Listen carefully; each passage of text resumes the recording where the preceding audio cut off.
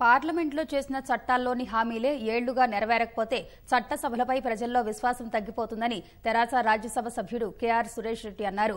ఆంధ్రప్రదేశ్ పునర్విభజన చట్టంలో కేంద్రం ఎన్నో హామీలు ఇచ్చిందని బిల్లు ఆమోదం పొంది ఎనిమిది ఏళ్ళుగా గడిచినా అవి నెరవేరలేదని రాజ్యసభలో ఆవేదన వ్యక్తం చేశారు. విభజన చట్టంలో ఇంకా నెరవేరాల్సినవి ముప్పై ఎనిమిది అంశాలున్నాయని వాటిని వెంటనే అమలు చేయాలని కోరారు.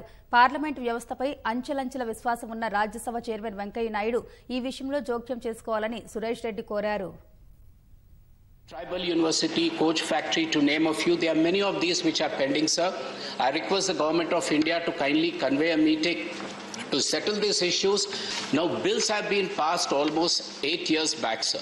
There are many assurances in the bill which are constitutionally res- uh, the government's responsibility to fulfill. As they say, justice delayed is denied. And people's belief in Parliament has to go up, sir, for which you have been a strong votary of a Parliament and also strengthening parliamentary democracy, sir. My request is at an appropriate time, I seek your kind intervention to give such directions. Thank you, sir.